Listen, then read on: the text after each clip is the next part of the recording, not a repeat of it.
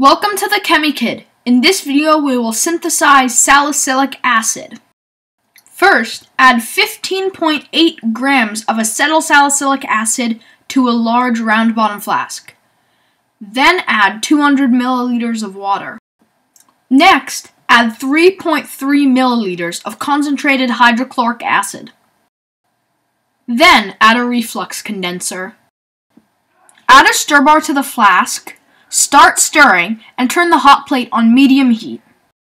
After refluxing for approximately an hour, turn off the heat. After cooling, filter the solution. Dry the filtrate, then add this to an airtight container for storage. Here's our final yield of salicylic acid. This salicylic acid will be used in the future to make methyl salicylate. Press on the annotation above to view that video. Thanks for watching. Please subscribe, rate, and comment.